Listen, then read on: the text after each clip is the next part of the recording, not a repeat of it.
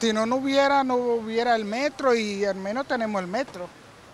Ayudó, ayudó mucho. Los, ayudó mucho. Ayudó mucho a pesar de que lo tienen allá.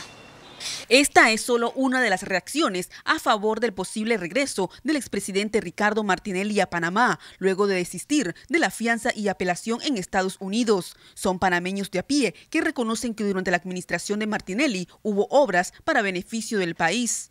Francisco López es un pequeño comerciante de la provincia de Chiriquí. Desde hace seis años se dedica a la venta de productos. Dice que cuando Martinelli gobernó, todo marchaba mejor. Sería conveniente porque en el gobierno de él se miraba mejor economía, las personas tenían más, más oportunidades de trabajo y el comercio andaba mejor. Con este gobierno todo se ha caído. Ahora, ¿cuál es la realidad?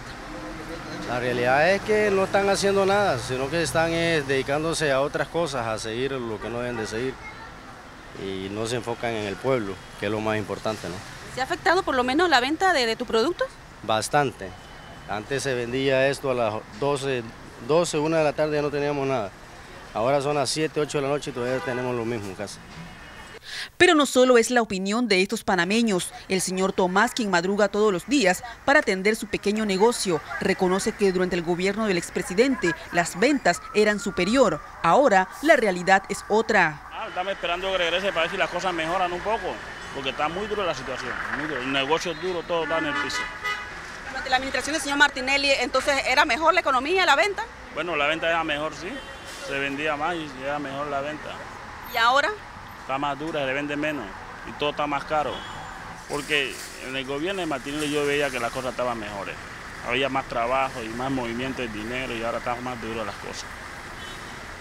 Martinelli tiene cinco procesos en la Corte Suprema de Justicia. Sin embargo, de acogerse a la extradición, solo debe responder por el caso de los pinchazos. Quienes aplauden la gestión martinelista piden el respeto de sus derechos una vez esté en suelo patrio. Con cámara Gerardo Golis, Yarelis Ureña Navarro, Next Noticias.